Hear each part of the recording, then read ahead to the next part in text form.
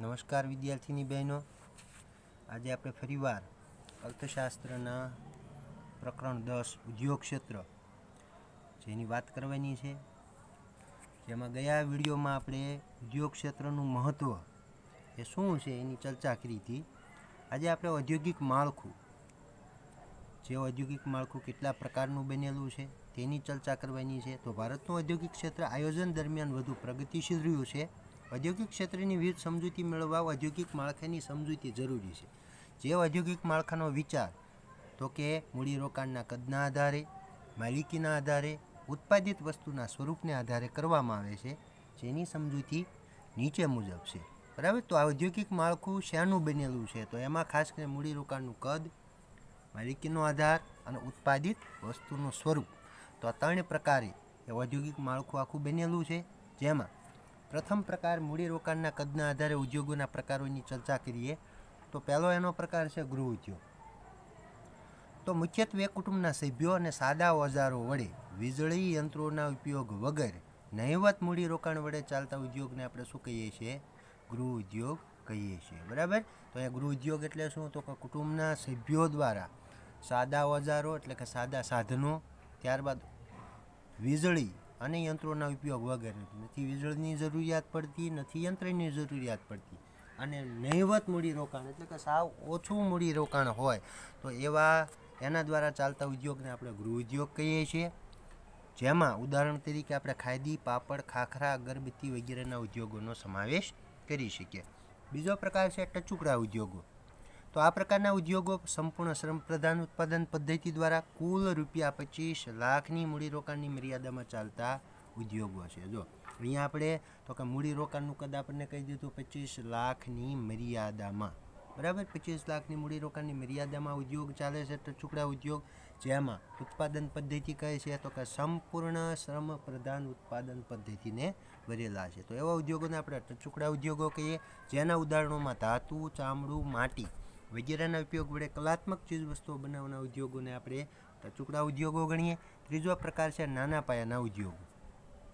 તો એમાં મૂડીરોકાણનું કદ જોઈએ તો જે ઉદ્યોગોમાં રૂપિયા પચીસ લાખથી વધુ અને પાંચ કરોડથી ઓછું મૂડીરોકાણ કરવામાં આવ્યું હોય, ત્યારબાદ ઉત્પાદન પદ્ધતિની વાત કરીએ તો માત્ર શ્રમ પ્રધાન ઉત્પાદન પદ્ધતિનો ઉપયોગ કરતું હોય અને મોટા ઉદ્યોગોને વળી પાછું કેવું છે એ સહાયક હોય એટલે મદદ કરતા હોય, તો તેવા ઉદ્યોગોને આપણે નાના પાયાના ઉદ્યોગો ગણીએ છીએ. જેમાં ઓજારો, વાહનોનું સમારકામ, વપરાશી વસ્તુઓનું ઉત્પાદન કરતા ઉદ્યોગોનો સમાવેશ આપણે નાના પાયાના ઉદ્યોગોમાં કરી શકીએ. તો નાના પાયાના ઉદ્યોગોમાં શું આવ્યું? તો કે પહેલાં મૂડીરોકાણનું પ્રમાણ તો કે કેટલું છે? તો કે પચીસ લાખથી વધુ અને પાંચ કરોડથી ઓછું. બરાબર? ત્યારબાદ ઉત્પાદન પદ્ધતિ તો કે માત્ર શ્રમ પ્રધાન ઉત્પાદન પદ્ધતિને વરેલો છે આ ઉદ્યોગ. ત્યારબાદ મોટા ઉદ્યોગને પાછો મદદ કરતા છે, એટલે કે મદદ પૂરી પાડે છે. તેવા ઉદ્યોગોને નાના પાયાના ઉદ્યોગો ગણી શકાય. ચોથો પ્રકાર છે મધ્યમ પાયાના ઉદ્યોગો. તો એમાં મૂડીરોકાણનું કદ જોઈએ તો જે ઉદ્યોગમાં રૂપિયા પાંચ કરોડથી વધુ અને દસ કરોડથી ઓછી એવી મૂડી રોકવામાં આવી હોય અને જે શ્રમ પ્રધાન અથવા મૂડી પ્રધાન ઉત્પાદન પદ્ધતિનો ઉપયોગ કરતો હોય તેવા ઉદ્યોગોને આપણે કેવા ગણીએ છીએ? મધ્યમ પાયાના ઉદ્યોગો. જેમાં ઉદાહરણ લઈએ તો યંત્ર, રસાયણો, ઇલેક્ટ્રોનિક સાધનો વગેરેના ઉદ્યોગોને આપણે જે છે મધ્યમ પાયાના ઉદ્યોગો ગણી શકીએ, બરાબર? તો અહીંયા મૂડીરોકાણનું કદ કેટલું છે? મધ્યમ પાયાના ઉદ્યોગોમાં તો કે પાંચ કરોડથી વધુ ને દસ કરોડથી ઓછું, બરાબર? તો એવું મૂડીરોકાણ રોકવામાં આવ્યું હોય, ત્યારબાદ ઉત્પાદન પદ્ધતિ કેવી? તો કે શ્રમ પ્રધાન અને મૂડી પ્રધાન બંનેની સંયુક્ત જે છે, એ પદ્ધતિનો ઉપયોગ થતો હોય, તો તેવા ઉદ્યોગોને આપણે મધ્યમ પાયાના ઉદ્યોગો ગણી શકીએ.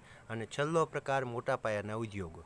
તો આ ઉદ્યોગમાં કેટલું મૂડીરોકાણ છે? તો કે દસ કરોડથી વધુ મૂડીનો ઉપયોગ થયો હોય અને જે માત્ર કઈ ઉત્પાદન પદ્ધતિ? તો કે મૂડી પ્રધાન ઉત્પાદન પદ્ધતિનો વધુ ઉપયોગ કરતો હોય તેવા ઉદ્યોગને કેવા ઉદ્યોગો કહેવાય છે? મોટા પાયાના ઉદ્યોગો. જેના ઉદાહરણો લઈએ તો રેલવેના સાધનો બનાવવામાં હોય, મોટા વાહનો, ત્યારબાદ લોખંડ વગેરેના ઉદ્યોગોને આપણે મોટા પાયાના ઉદ્યોગો ગણી શકીએ. બરાબર? તો અહીંયા મોટા પાયાના ઉદ્યોગોમાં મૂડીરોકાણનું પણ દસ કરોડથી વધુ છે. ત્યારબાદ જેમાં ઉત્પાદન પદ્ધતિ માત્ર મૂડી પ્રધાન ઉત્પાદન પદ્ધતિથી વરેલો ઉદ્યોગ છે, બરાબર? તો એને મોટા પાયાના ઉદ્યોગો ગણી શકીએ, બરાબર? તો માત્ર જે છે મૂડીરોકાણના કદના આધારે આપણે જોઈએ તો સૌપ્રથમ ગૃહ ઉદ્યોગ તો કે જેમાં નહિવત મૂડીરોકાણ એટલે ઓછું મૂડીરોકાણ છે. ત્યારબાદ આ ઉદ્યોગ એવો છે કે જે ઘરના સભ્યો દ્વારા જે છે ચલાવતો ઉદ્યોગ છે, જેમાં સાદા ઓજારો અને વીજળી અને યંત્રોનો નહિવત ઉપયોગ છે, બરાબર? તો એના, એને આપણે જે છે ગૃહ ઉદ્યોગ કહીએ. ત્યારબાદ એના ઉદાહરણમાં ખાદી, કાપડ પાપડ, ખાખરા અને અગરબત્તી. તો આને જે છે ગૃહ ઉદ્યોગ કહેવાય. ટચુકડામાં તો કે એનું મૂડીરોકાણનું કદ કેટલું? તો કે પચીસ લાખથી ઓછું મૂડીરોકાણ, બરાબર? એટલે પચીસ લાખ જેટલી મર્યાદામાં ચાલતા ઉદ્યોગોને આપણે ટચુકડા ઉદ્યોગો કહીએ. જેની ઉત્પાદન પદ્ધતિ કેવી છે? શ્રમ પ્રધાન ઉત્પાદન પદ્ધતિનો વરેલો હશે. જેમાં ધાતુ, ચામડું, માટી વગેરેના કલાત્મક ચીજ વસ્તુઓ બનાવવાનો ઉદ્યોગ. ત્યારબાદ ત્રીજું નાના પાયાના. તો એમાં મૂડીરોકાણ કેટલું છે? તો કે પચીસ લાખથી વધુ અને પાંચ કરોડથી ઓછું. અને ઉત્પાદન પદ્ધતિ તો કે શ્રમ પ્રધાન જ ઉત્પાદન પદ્ધતિનો ઉપયોગ કરવામાં આવે છે. અને મોટા ઉદ્યોગોને આ ઉદ્યોગ કેવા છે? તો કે મદદ પૂરી પાડે છે એટલે કે સહાયક ગણી શકાય છે. ઉદાહરણ જોયા તો કે ઓજારો, વાહનોનું સમારકામ, વપરાશી વસ્તુઓનું ઉત્પાદન કરતા ઉદ્યોગો. મધ્યમ પાયાના ઉદ્યોગોમાં મૂડીરોકાણ જોઈએ તો કે પાંચ કરોડથી વધુ અને દસ કરોડથી ઓછું મૂડી રોકાણ હોય, ત્યારબાદ એની ઉત્પાદન પદ્ધતિ, તો કે શ્રમ પ્રધાન અને મૂડી પ્રધાન ઉત્પાદન પદ્ધતિના વેરેલા છે. ત્યારબાદ એવા ઉદ્યોગોને આપણે કેવા ગણીએ છીએ? તો કે મધ્યમ પાયાના ઉદ્યોગો, જેમાં યંત્રો, રસાયણો, ઇલેક્ટ્રોનિક સાધનોનો ઉપયોગ કરી શકાય. ત્યારબાદ છેલ્લું છે મોટા પાયાના ઉદ્યોગો, તો એમાં મૂડીરોકાણનું કદ કેટલું છે? તો કે દસ કરોડથી વધુ એ મૂડીનો ઉપયોગ થયો હોય અને માત્ર ઉત્પાદન પદ્ધતિ કેવી છે તો કે મૂડી પ્રધાન ઉત્પાદન પદ્ધતિનો વધુ ઉપયોગ થતો હોય તો તેવા ઉદ્યોગોને મોટા પાયાના ઉદ્યોગો કહેવાય. જેના ઉદાહરણોમાં રેલવેના સાધનો, મોટા વાહનો અને લોખંડ, જે એના મોટા પાયાના ઉદ્યોગોના ઉદાહરણો ગણી શકાય. ત્યારબાદ બીજો પ્રકાર આપણે જોઈએ તો માલિકીના આધારે ઉદ્યોગોના પ્રકારો કેટલા? તો માલિકીના આધારે ઉદ્યોગોના પ્રકારોમાં પ્રથમ પ્રકાર છે જાહેર ક્ષેત્રના ઉદ્યોગો. જાહેર ક્ષેત્રના ઉદ્યોગો એટલે શું? તો કે જ્યારે ઉત્પાદિત એકમની માલિકી અને સંચાલન કોના હસ્તક હોય? સરકાર હસ્તક હોય. બરાબર? તો સરકાર હસ્તક એટલે કે સરકારની માલિકી અને સંચાલન દ્વારા જે વસ્તુનું ઉત્પાદન થતું હોય, તો એવા ઉદ્યોગોને આપણે કેવા ઉદ્યોગો ગણીએ છીએ? જાહેર ક્ષેત્રના ઉદ્યોગો. બરાબર? જેમાં ઉદાહરણ આપ્યા છે, રેલવે, ટેલિફોન, ટપાલ વગેરેની સરકારની માલિકીના ઉદ્યોગો છે, જે જાહેર ક્ષેત્રના ઔદ્યોગિક એકમો તરીકે આપણે ઓળખાય છે. આ જાહેર ક્ષેત્રના એકમોના પાછા ત્રણ વિભાગમાં વર્ગીકરણ અનુસાર વહેંચવામાં આવે છે. તો એના ત્રણ પેટા પ્રકાર, જાહેર ક્ષેત્રના ઉદ્યોગોના ત્રણ પેટા પ્રકાર આપણે નીચે પ્રમાણે જોઈ શકીએ. પ્રથમ, જાહેર ક્ષેત્રના ઉદ્યોગો એટલે શું? તમને પૂછે તો લખી શકાય. જ્યારે ઉત્પાદિત એકમની માલિકી કોની હોય? માલિકી અને સંચાલન કોનું હોય, સરકાર હસ્તક હોય, તો તેવા બધા ઉદ્યોગોને આપણે કેવા ગણીએ છીએ? જાહેર ક્ષેત્રના ઉદ્યોગો. એટલે સરકાર હસ્તક હોય અને એની માલિકીના સંચાલન બંને એના હસ્તક હોય. બરાબર? આ બે શબ્દ એને હસ્તક હોય તો એને જાહેર ક્ષેત્રના ઉદ્યોગો ગણી શકાય. તો એના પેટા પ્રકારો આપણે જોઈએ વર્ગીકરણમાં, તો પહેલું છે ખાતાકીય ઉદ્યોગો. તો એને જાહેર ક્ષેત્રના ઉદ્યોગો ગણીએ. તો કઈ રીતે? તો જ્યારે સરકાર કેટલાક ઔદ્યોગિક એકમો પોતાની સીધી દેખરેખ હેઠળ એક ખાતા તરીકે ચલાવે. ઉપરાંત આવા એકમોની આવક અને ખર્ચની જોગવાઈ અંદાજપત્રમાં સામેલ કરવામાં આવે તો તેવા ઔદ્યોગિક એકમોને ખાતાકીય એકમો તરીકે ઓળખવામાં આવે છે. ઉદાહરણ તરીકે રેલવે ખાતું, ટપાલ ખાતું વગેરે. બરાબર? તો ખાતાકીય ઉદ્યોગો, તો અહીંયા જે છે ખાતાકીય ઉદ્યોગો સરકારની સીધી દેખરેખ હેઠળ ચાલતા હોય અને ખાતા તરીકે ચલવે છે. બરાબર? આવા એકમોની આવક અને ખર્ચની જોગવાઈ એ અંદાજપત્રમાં સામેલ કરવામાં આવી હોય તો એવા ઔદ્યોગિક એકમોને કેવા ઉદ્યોગો કહેવાય છે? ખાતાકીય એકમો તરીકે આપણે ઓળખી શકીએ. તો આમાં જે છે, રેલવે ખાતું, ટપાલ ખાતું વગેરે ખાતાકીય ઉદ્યોગોના ઉદાહરણો આપણે ગણી શકીએ. ત્યારબાદ જાહેર નિગમો. તો જે એકમોની માલિકી કેન્દ્ર કે રાજ્ય સરકારની હોય પરંતુ તેનું સંચાલન સ્વતંત્રપણે નિગમ એટલે કે કોર્પોરેશન દ્વારા કરવામાં આવે. પરંતુ નિગમના સંચાલન અને નિર્ણય પ્રક્રિયામાં સરકારનો વિશેષ પ્રભાવ જોવા મળે. ઉદાહરણ તરીકે, જીવન વીમા નિગમ, સ્ટેટ ટ્રાન્સપોર્ટ નિગમ, એર ઇન્ડિયા જે છે, એર ઇન્ડિયા, ખાતર ઉત્પાદન વેચાણ કરતા ઇફકો, જીએસએફસી, જીએનએફસી વગેરે એકમો જાહેર નિગમો તરીકે આપણે ઓળખી શકીએ. જો જાહેર નિગમ એટલે શું? તો કે જે એકમોની માલિકી જે છે, કાં તો કેન્દ્રની કાં તો રાજ્ય સરકારની હોય કાં તો બેની સંયુક્ત હોય. એટલે કે જાહેર ક્ષેત્ર જ છે પણ સંચાલન જે છે કેવું છે? સ્વતંત્ર નિગમ કરતું હોય, બરાબર? એક માલિકી જે છે સરકારની હોય, પણ સંચાલન જે છે સ્વતંત્રપણે, સ્વાયત્તતા એ નિગમને સોંપવામાં આવ્યું હોય. નિગમના સંચાલનને નિર્ણય પ્રક્રિયામાં પાછો પ્રભાવ કોનો હોય? તો કે સરકારનો વિશેષ પ્રભાવ જોવા મળતો હોય. તો એવા ઉદ્યોગોને જાહેર નિગમો કહેવાય, જેમાં જીવન વીમા નિગમ, જેને આપણે એલઆઈસી કહીએ, સ્ટેટ ટ્રાન્સપોર્ટ નિગમ એટલે કે વાહન વ્યવહાર, ત્યારબાદ એર ઇન્ડિયા એર ઇન્ડિયા એટલે કે આપણે જે છે વિમાનનું, ભારતીય વિમાનની શાખા ત્યારબાદ ખાતર ઉત્પાદન, વેચાણ કરતા જે અલગ અલગ જે છે એ, એની પેઢીઓની આપણે વાત કરીએ તો ઇફકો જીએસએફસી જીએનએફસી તો આ બધા એકમોને આપણે કેવા ગણીએ છીએ? તો કે જાહેર નિગમ તરીકે આપણે ઓળખીએ છીએ. ત્યારબાદ સંયુક્ત મૂડી કંપનીઓ, જે એકમોનું સંચાલન સરકાર, ખાનગી ક્ષેત્રની જેમ પ્રવર્તમાન કંપની ધારા મુજબ કરે, ઉપરાંત આ એકમોની નિશ્ચિત માલિકી હક સરકાર જે તે એકમના શેર બહાર પાડી લોકો કે સંસ્થાઓને વેચી મૂડી એકઠી કરે, આ એકમો સરકારના સીધા અંકુશોથી મુક્ત હોય, આવા એકમો ખાતાકીય એકમો અને જાહેર નિગમોથી જુદા પ્રકારના હોય છે. તો એને સંયુક્ત મૂડી કંપનીઓ તરીકે ઓળખી શકાય. તો જે એકમોનું સંચાલન જે છે, એ ખાનગી ક્ષેત્રની જેમ કંપની ધારા મુજબ એ પોતે કરવામાં આવતું હોય, ત્યારબાદ આ એકમોની નિશ્ચિત માલિકી હક સરકાર કોને આપે છે? તો કે જે તે એકમના શેર બહાર પાડીને સંસ્થાઓને વેચીને, બરાબર? અથવા તો સંસ્થાઓને વેચીને જે છે મૂડી એકઠી કરતા હોય, ત્યારબાદ આ એકમો સરકારના કેવા હોય છે? તો કે સીધા અંકુશોથી કેવા હોય છે? મુક્ત હોય છે. આવા એકમોને આપણે ખાતાકીય એકમો અને જાહેર નિગમોથી પણ કેવા હોય છે તો કે જુદા પ્રકારના આપણે ગણી શકીએ તો એને સંયુક્ત મૂડી કંપનીઓ તરીકે ઓળખી શકાય. ઉદાહરણ તરીકે હિન્દુસ્તાન મશીન ટૂલ્સ, બરાબર? તો એચ એમ ટી જેને ટૂંકમાં કહીએ તો oil and natural gas corporation, તો એનજીસી ઇન્ડિયન ઓઇલ કોર્પોરેશન. તો આ બધા ઉદ્યોગોના જે છે પ્રકાર એ સંયુક્ત મૂડી કંપનીના ગણી શકીએ.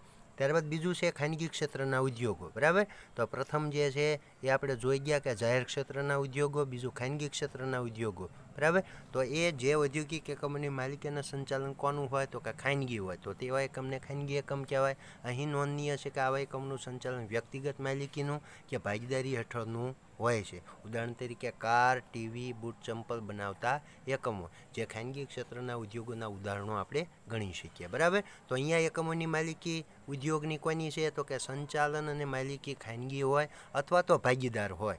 બરાબર? ભાગીદારી દ્વારા એ વ્યક્તિગત માલિકીનું કે ભાગીદારીનું હોઈ શકે તો એવાને આપણે ખાનગી ક્ષેત્રના ઉદ્યોગો ગણીએ છીએ, બરાબર? તો એના ઉદાહરણોમાં આપણે કાર બનાવતી, કોઈ પણ જે છે, ઉદ્યોગ, ટીવી, બૂટ ચંપલ બનાવતા એકમો તો આ બધા ખાનગી ક્ષેત્રના ઉદાહરણો ગણી શકીએ. ત્યારબાદ ત્રીજું છે સંયુક્ત ક્ષેત્રના ઉદ્યોગો.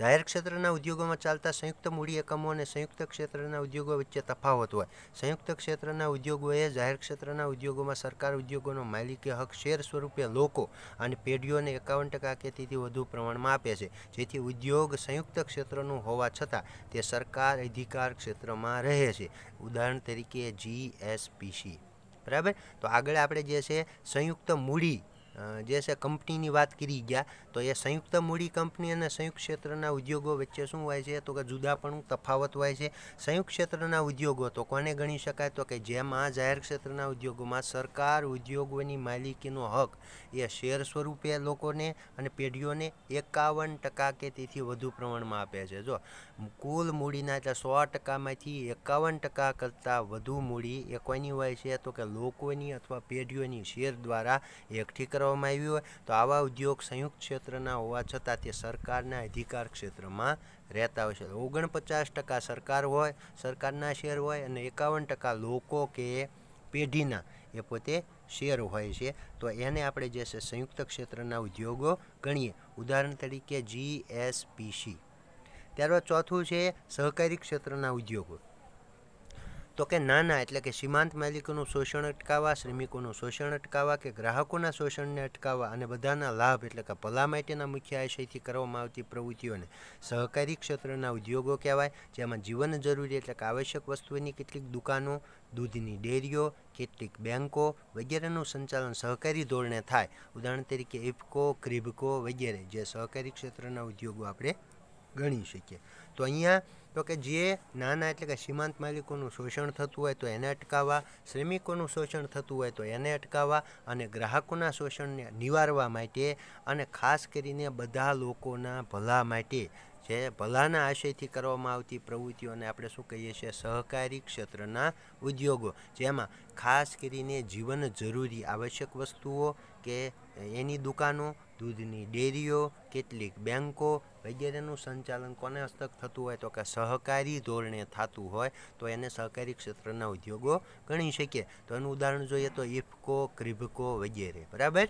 તો અહીંયા આપણે એના ટોટલ માલિકી હકે જે છે એના પ્રકારો પડ્યા તો ચાર, તો જાહેર ક્ષેત્રના ઉદ્યોગો, ખાનગી ક્ષેત્રના ઉદ્યોગો, સંયુક્ત ક્ષેત્રના ઉદ્યોગો, સહકારી ક્ષેત્રના ઉદ્યોગો. જેમાં પ્રથમ આપણે જે છે જાહેર ક્ષેત્રના ઉદ્યોગોના ત્રણ પેટા પ્રકાર એટલે ત્રણ રીતે વર્ગીકૃત કરવામાં આવ્યા છે. ખાતાકીય ઉદ્યોગો, જાહેર નિગમો અને સંયુક્ત મૂડી કંપનીઓ.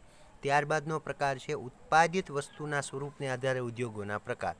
તો એમાં આપણે જોઈ લઈએ તો વપરાશી વસ્તુના ઉદ્યોગો. પ્રથમ પ્રકાર તો વપરાશી વસ્તુ એટલે જે વસ્તુઓ લોકોની પ્રત્યક્ષ જરૂરિયાતો સંતોષે છે તેવી વસ્તુઓને વપરાશી વસ્તુઓ કહેવાય. આવી વસ્તુઓનું ઉત્પાદન કરતા ઉદ્યોગોને કેવા કહેવાય છે? વપરાશી વસ્તુના ઉદ્યોગો કહેવાય. તો વપરાશી વસ્તુના ઉદ્યોગો એટલે શું? તો કે જે વસ્તુઓ લોકોની પ્રત્યક્ષ જરૂરિયાતને શું કરતા હોય?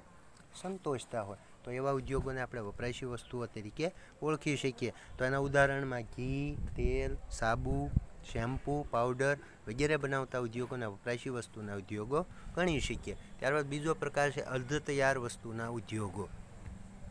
તો જે વસ્તુનું ઉત્પાદન અર્ધ સ્વરૂપનું હોય એટલે કે એવી વસ્તુઓ છે જેનું ઉત્પાદન થયું છે, પરંતુ ઉત્પાદનનો વધુ એક તબક્કો કેવો હોય છે, બાકી હોય છે. તો તેવા પ્રકારની વસ્તુઓને મૂડી વસ્તુઓ કહે છે અને તેવા પ્રકારની વસ્તુઓનું ઉત્પાદન કરતા એકમોને અર્ધ તૈયાર વસ્તુના ઉદ્યોગો કહે છે. એટલે તૈયાર માલ નથી થયો, તૈયાર માલ કરવામાં હજી એક તબક્કો કેવો હોય છે, બાકી હોય છે. બરાબર? તો જે વસ્તુનું ઉત્પાદન અર્ધ સ્વરૂપનું એટલે કે અડધું હોય એવી વસ્તુઓ જેનું ઉત્પાદન થયું છે, પરંતુ હજી ઉત્પાદનનો એક ભાગ બાકી હોય, એક તબક્કો બાકી હોય, તો તેવી પ્રકારની વસ્તુઓને મૂડી વસ્તુઓ પણ કહેવાય અને અર્ધ તૈયાર વસ્તુઓ તરીકે પણ આપણે એને ઓળખી શકીએ છીએ. જેના ઉદાહરણમાં સૂતર, લોખંડના પતરા, યંત્રો વગેરેના ઉદ્યોગોનો સમાવેશ આપણે કરી શકીએ. આમ ઉત્પાદિત વસ્તુના સ્વરૂપના આધારે બે પ્રકાર પાડી શકાય, વપરાશી વસ્તુના ઉદ્યોગો અને અર્ધ તૈયાર વસ્તુઓના ઉદ્યોગો. બરાબર? અહીંયા આપણે રાખીએ. આવતા વિડીયોમાં આપણે ઔદ્યોગિક વિકાસ માટે સરકારે લીધેલા પગલાઓની ચર્ચા